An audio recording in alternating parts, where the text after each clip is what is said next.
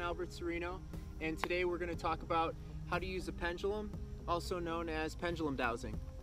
So a pendulum is a good tool to tap into the intuition or the subconscious mind uh, and answer any kind of questions that we may have that we may be feeling a little confused about or uh, we're not too sure of a direction to take on something and we'd like some of the inner guidance to some of our inner guidance to come out but we may have what I like to call a little bit of emotional static and our minds kind of getting in the way.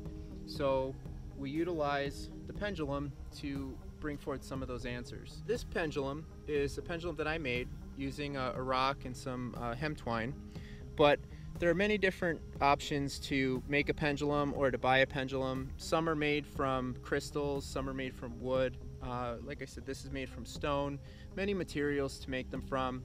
Um, the benefits of, of buying one maybe more so to for something that's a little more sensitive, a little bit more balanced. But if you could figure out a way to just create this this nice swinging um, device here, anything could work. So in order to use a pendulum, we first have to program it or give our subconscious a way to communicate with us and tell us how we'd like it to communicate with us. So first we go, we could either hold it from the top I would take it from the knot that I have up here and hold it like this. Or I sometimes like to just grasp it with two fingers and kind of let it sit hang over my finger and just hold it like this. Now what we do first to program it is we start with a simple neutral position which I like to just let it swing at a diagonal and then I say I tell it what I'd like it to do so I like to say I tell it if if I if it's going to give me a yes answer to a question, I'd like it to swing vertical. So then I put it in that vertical position and I purposely swing it that way and say this is how I'd like the yes answer to be. If I would like it to be a no answer, I put it back in the neutral position and then I say I would like the no to be a horizontal swing. And then I put it purposely into a horizontal swing and keep holding that intention that that's how I would like it to communicate with me as a no. And then once I do that, I bring it back to neutral and we're ready to go. The pendulum is working through uh, a series of micro movements in your muscles. So when you ask a question, your subconscious allows the body to do these little micro movements that you can barely, you can't really even see. If, if, I'm looking at my hand and I ask it a question, I can't even really see the way my hand's moving, but I notice that the pendulum moves. It gives it a, almost a feeling that the pendulum is doing it on its own. Really, my body's doing it, but something that's not uh, consciously in my control. When I'm using this pendulum, I have to be uh, in a mind state that is detached from any of the answers that I'm looking to get from this. So if I I may start off using a pendulum and feel like I'm influencing the answer. I ask it a question and I feel like I'm the one putting it in a space. So it takes a little bit of practice to get to a point where you just feel very detached and very open to any outcomes that uh, the pendulum may give you when you ask it a question.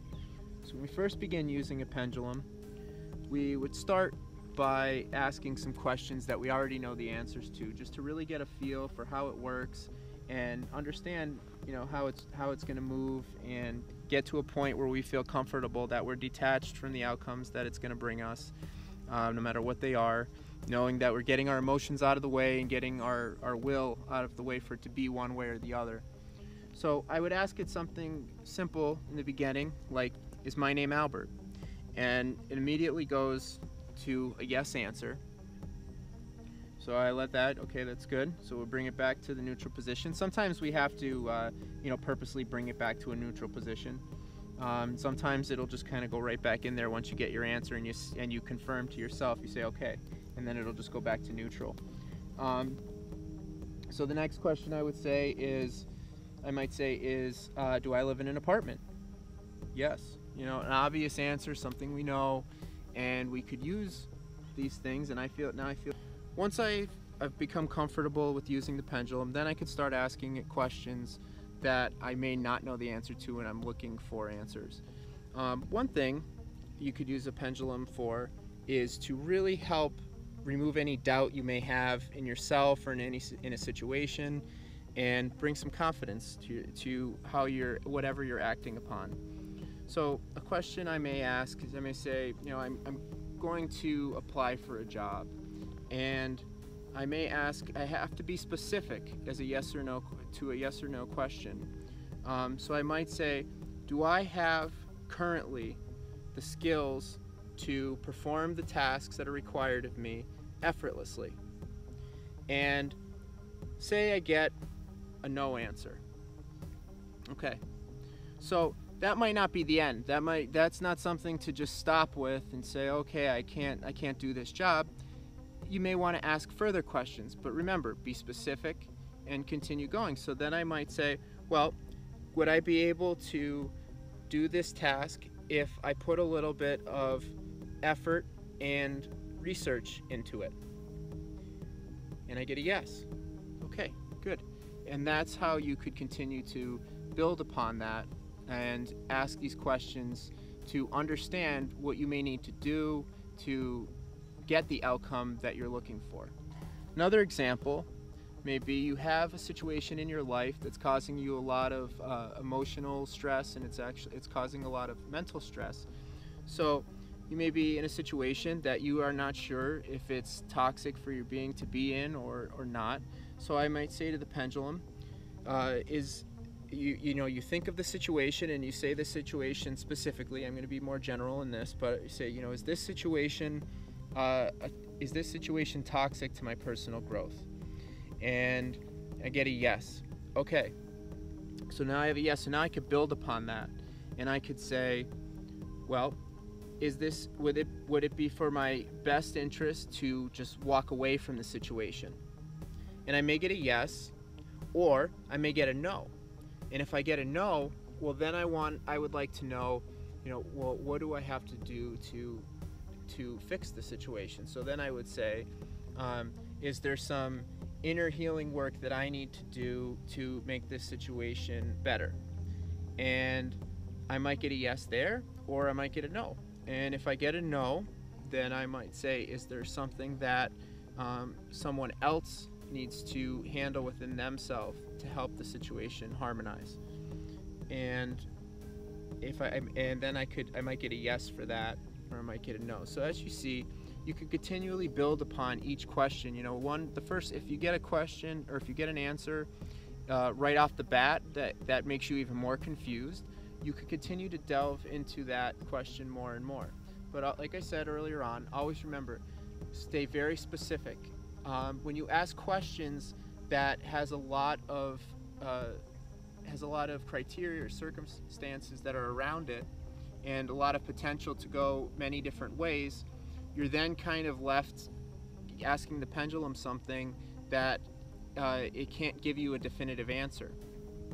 Um, so you may actually get, sometimes you may ask a question and it may stay in the neutral position and it may not go to a yes or no. And if that's the case, then you may want to reevaluate the question that you asked and try to be a little bit more specific. So not only could we tap into our intuition uh, by using a pendulum, but we could also utilize a pendulum to find something that we've lost. Uh, say I lost my wallet in my uh, and and I may feel like it's in my house just to um, keep this shorter. So I say, okay, you know, is the wall is my wallet in my house? And I say yes. Okay. So now I build upon that question again. I say, you know, is my wallet downstairs in the on the first floor of my house? No. Is it in the is it on the second floor of my house? And I'd get a yes. And then I could start going and being more specific. Okay, so is the is my wallet in the bathroom in my house? is my wallet in my bedroom? And I'll get yes or no answers. And then I could work to, I could eventually lead up to more specifically to pinpoint where exactly the lost object is. Um, again, as before, be specific and practice. So you may want to take an object and put it somewhere and start asking the pendulum questions to get yourself used to understanding how it works and get yourself confidence in using the pendulum to get these responses. And other things, if you want to delve into the more spiritual realm, Um, pendulums could also be used to communicate with um, past loved ones. Um, it could be used to communicate with your spirit guides. Always be specific and always ask for um, beings of benevolence and, and, always of a positive nature. Um, keep your mind in a good place and keep your heart in a space of love. You don't want to draw anything in that, that might try to um, confuse you or, or the like. So in this video we covered what a pendulum is, um, how we may use a pendulum, how to program the pendulum, uh, how to gain practice and confidence in using your pendulum, and some of the other uses that it could be used for. To pick up pendulums or other tools, check out www.catacombculture.com. And to watch more videos like this, check out www.catacomb.tv.